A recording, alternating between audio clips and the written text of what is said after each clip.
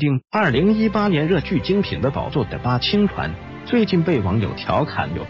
究其原因，是因为里面主演的五位明星目前已经凉掉了三个，包括高云翔、范冰冰以及马苏，目前只剩下严屹欢还有张国立比较低调踏实。这部号称由华谊、唐德、恒大影业共同投资了五亿元打造的亚洲最大的古装电视剧《八清传》，原片名为《赢天下》。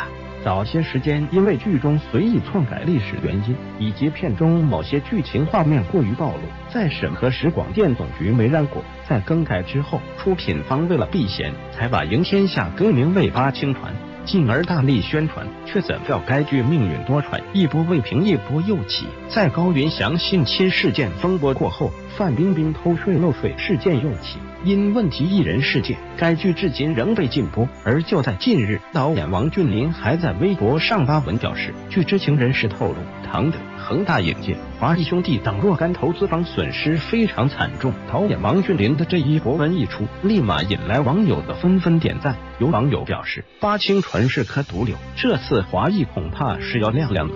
作为一部古装大型电视剧，不尊重历史，随意改写历史。本就不得人心，结果还在宣传的时候故意走擦边球，到头来作品还没播出，就给了观众一系列不好的印象。就算以后通过审核上映播出，收视率也肯定大跌眼镜。